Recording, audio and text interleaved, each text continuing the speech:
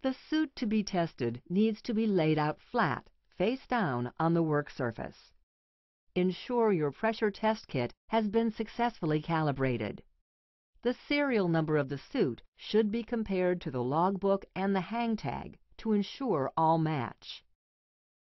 Find the exhaust valves on the suit and remove the protective covers, exposing the exhaust valve diaphragms. Remove these diaphragms, keeping them in a safe location, ensuring they remain flat to avoid damage. Next, find the appropriate valve adapters for the type of exhaust valves used in the suit. The adapters that fit our valves have a letter A stamped on the adapter body.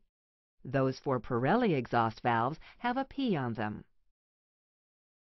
Install the two adapters into any two of the exhaust valves on the suit with a twist lock action. It is useful to use one hand to secure the exhaust valve body from the outside while installing the adapter with the other. Attach the hose ends to the adapters. If your suit has more than two exhaust valves, install exhaust valve plugs over all additional valves, ensuring all are sealed. Extra plugs can be found in the test kit. Carefully zip the suit closed, ensuring the zipper seats well at the end of its travel.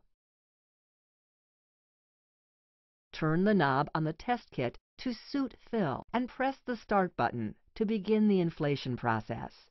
As the suit inflates, make sure that no areas remain folded. Use this opportunity to perform a visual inspection of the suit, paying special attention to areas prone to damage during training exercises, such as the bottoms of the attached sock, gloves, and visor. Allow the suit to fill until the gauge reads between 5 and 6 inches of water. Turn the knob to Suit Test and press the start switch to turn off the air pump. Set the timer to 1 minute and press Start. At the end of 1 minute, reset the timer for 4 minutes, but do not press Start yet. Reduce the suit pressure by slowly moving the knob from the suit test position towards suit fill to allow the pressure to slowly drop to 4 inches of water.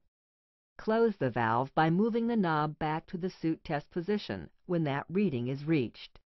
As soon as you put the knob in the suit test position, start the timer set at 4 minutes. At the end of 4 minutes, the suit will have passed if the gauge reads 3.2 inches of water or higher. Remove the test kit adapters from the valves. Open the suit zipper. Reinstall the diaphragms and protective covers. And record results in the logbook.